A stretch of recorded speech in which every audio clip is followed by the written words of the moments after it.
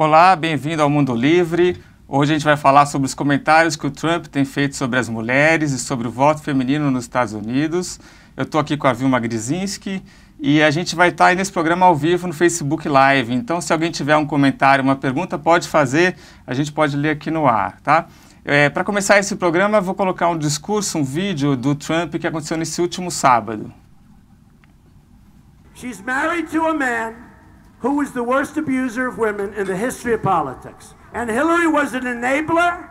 And she treated these women horribly. O Trump está falando que a Hillary é casada com o maior abusador de mulheres e que ela foi uma facilitadora e que as mulheres que, que denunciaram o Trump por abusos, né, na verdade foram, foram muito maltratadas não por ele, mas sim pela Hillary Clinton, né?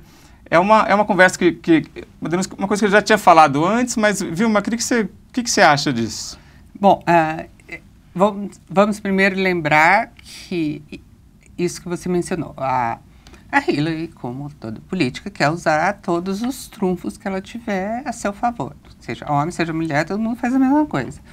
E ela começou a tentar explorar, ainda na fase das, uh, do, do início das eleições prévias, ela começou a tentar explorar esses comentários brutos que o Trump faz sobre algumas mulheres, não sobre todas, e ele calou a boca dela, se passou no seu estilo trator com, isso, falou, essa é uma mulher que ajudou o marido a humilhar, a, a perseguir, a desqualificar as amantes que estavam uh, criando problemas, os casos, as mulheres que tiveram casos com, com Bill Clinton.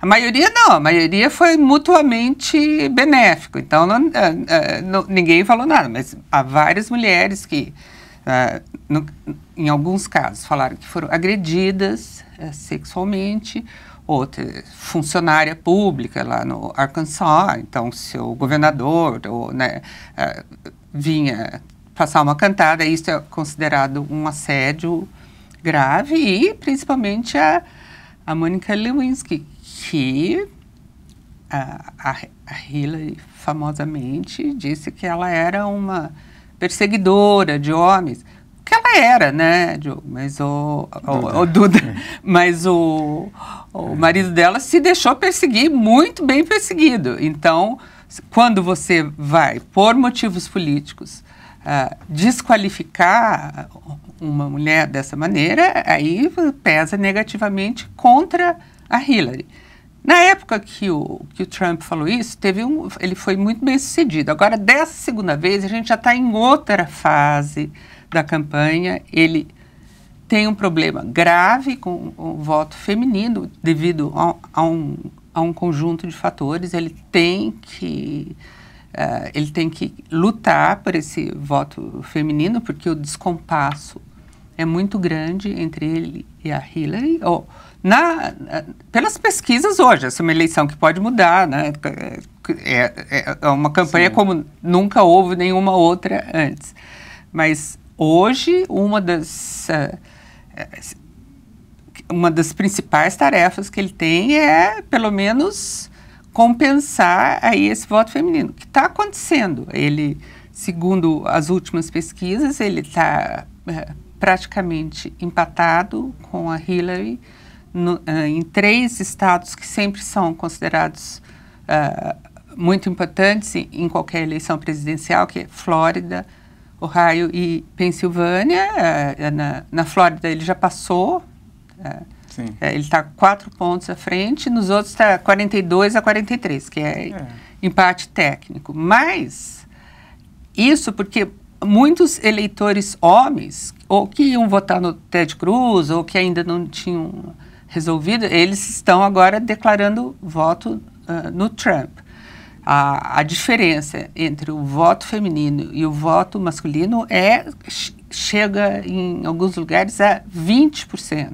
Ou seja, uh, 21% a mais de homens dizem que vão uh, votar no Trump e o oposto acontece com mulheres em relação a Hillary. Então, mais uma vez, o voto feminino vai ser muito importante. Sempre é mais importante porque nos Estados Unidos, como um país civilizado, o voto é voluntário, né? não é obrigatório. E, de forma geral, as mulheres votam um, um pouco mais que os homens. É, é 52, 53% dos votos gerais são uh, de mulheres. Os homens tendem a ficar na faixa dos 48%. Os que uhum. vão efetivamente lá no dia da eleição e votam. Ao mesmo tempo que tem as mulheres uh, fugindo do Trump, né, e indo, querendo, falando em votar na Hillary, também tem o movimento dos homens declararem o voto no Trump. É uma coisa...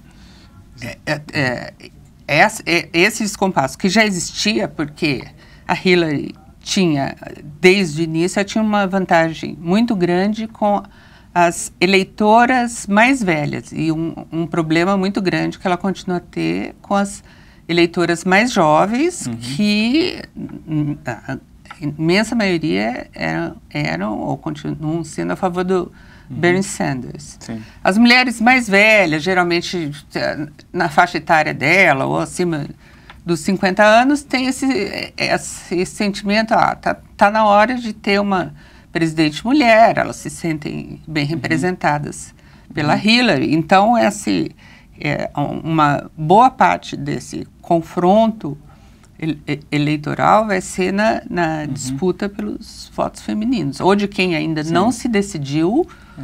ou de quem já se decidiu, mas pode mudar de ideia. Tá. É.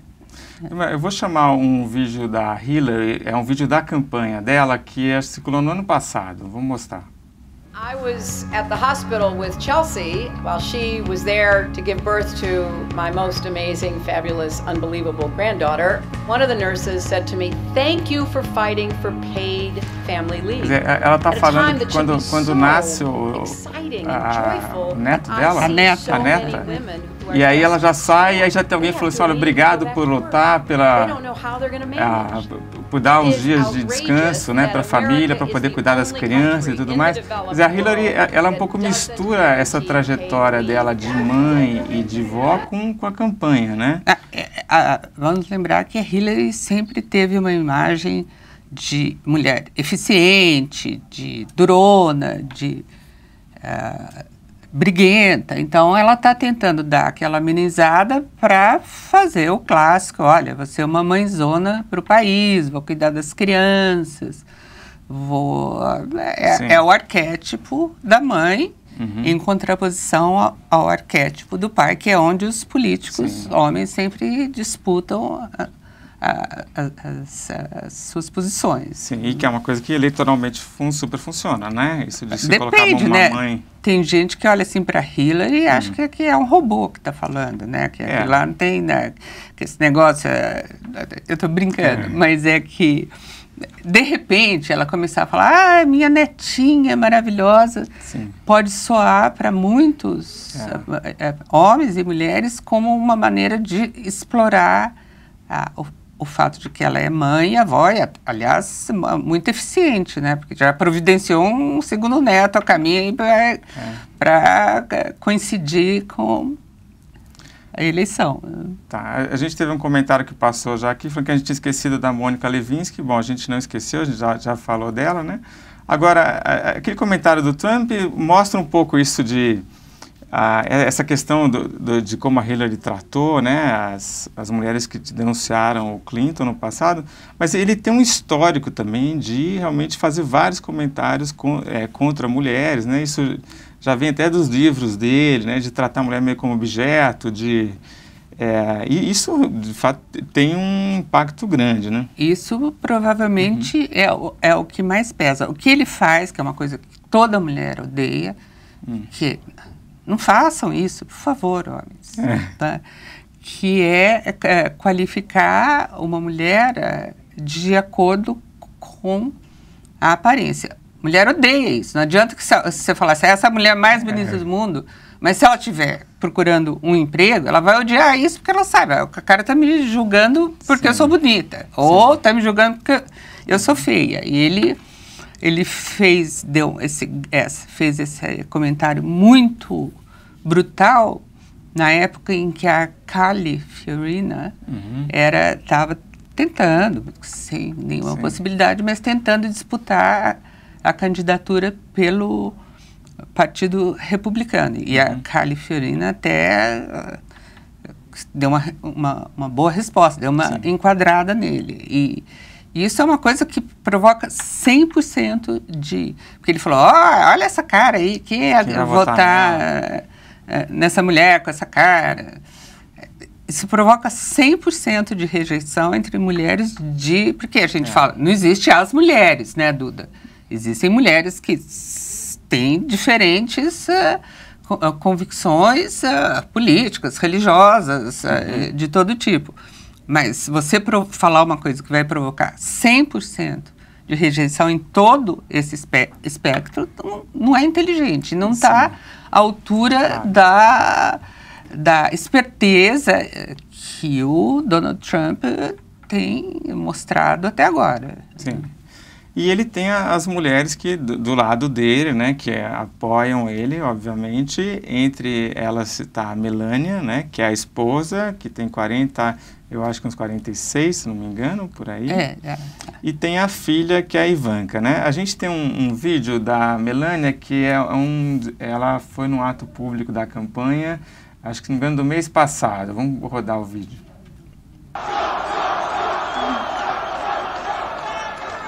No matter who you are, a man or a woman, he treats Não everyone importa equal. quem você seja, homem ou mulher, ele trata qualquer um do mesmo jeito. Ele é um soldado elect him to be your president, he will fight for you and e ele, for our ele vai lutar por você He will work for you como and presidente. with Vai trabalhar para você e com And você. together we will make America Juntos vamos fazer os Estados. Unidos mais forte e grande novamente. É, é engraçado nesse vídeo a cabecinha dele, né? Inclinada, assim, é do jeito que você olha para criança, É, para cachorrinho, para gatinho. Por quê? Ah, eu vou tentar colocar So culturalmente a questão da, "Uh, do you mind? I wrote da- do impacto eh, da Melania comparando com outras She ah, said, "I don't mulheres de presidentes ou candidatos. A Melania é uma foi modelo, ela eh, tem essa beleza eslava, porque era, Sim. ela é da Eslovênia e tem essa beleza de modelo que, é- que praticamente não existe na natureza. Existem mulheres bonitas, existem modelos, né? são, são categorias diferentes. E a Melania também é hiper produzida, naquele estilo americano, ou seja, montes de maquiagem, que, que eles falam hiper estilizada, cabelo penteadíssimo, roupa de grife, um anel de brilhante de 25 quilates, que é o anel que ela ganhou quando ela foi casar com, com Trump. E Isso é muito engraçado quando você imagina que o público ao redor eh, desses estados do interior, é, é, quando não comprou a roupa na feira de roupa usada, já é um, já é um, já é um avanço. Então, é, esse, essa, esse choque visual, as filhas dele também, as fi, ele tem duas filhas e, e as noras também são todo esse estilo nova-iorquino, salto 15, cabelão loiro, decote. Isso provoca um- uma diferença muito grande, mas a Melania tem uma categoria especial que é a categoria modelo. É- Esse tipo de beleza ou intimida ou, ou atrapalha. E ela fala com sotaque. Os homens acham maravilhoso. É. Tem- tem- tem- já teve vários comentários lá do, do tipo microfone aberto e fica todo mundo boquiaberto. Né? Isso que ela não está usando os decotes habituais. Né? Ah, é? Tá mais comportada na campanha. É, ela está usando roupa de, É. de mulher de candidato. Então, é, é um fator pode ser usado contra ou a, ou a favor dele. Sim, né? é- é- Tende mais a ser usado contra, porque Hum. mulher As, as lá, mulheres não gostam dela? É, A- não se um- identificam, não é- eu, não, eu não diria que não gostam, É. não se identificam em, em esfera nenhuma, porque ela é impossível, né? É que nem aquela Bruni, né? Quando era Sim. casada com, com o Sarkozy. É. É, aqui o Maurício fez um comentário que, que as pessoas não gostam dela porque, só porque ela é modelo, né? Mas é que ela, quando, quando fala, é, não é uma Carla Bruni, né? Ela geralmente aparece elogiando, né? Fala bem do Trump, su fala super pouco, né? Ela realmente mais aparece do que sai falando, né? Mas que tem essa rejeição à beleza, tem. Porque ela é bonita e, demais. E, bonita demais. É, é. Excesso de beleza atrapalha. Embora seja difícil a gente acreditar nisso, mas é, é atrapalha no sentido que fica difícil é, as, as outras mulheres se identificar. Mesmo, por exemplo, no caso do Hum. Mitt Romney, que um, um, dos, um dos motivos que ele perdeu a última eleição, o Obama foi reeleito, é que ele era tinha imagem de rico, né? Porque ele tinha imagem de rico, porque ele é rico, mais de 400 Sim. milhões de dólares. Uhum. Uh, mas, uh, e a mulher dele também é rica, porque o marido tem mais de 400 milhões de dólares. Sim. Né? Então, mas uh, tinha maior capacidade de identificação, porque ela teve cinco filhos e ficou doente, sofreu é, de uma doença grave, se recuperou, e assim como várias outras mulheres de candidatos. Inclusive a Michelle Obama, que sempre teve um índice de aprovação muito maior do que o marido. Porque qual que é o, o papel clássico da mulher.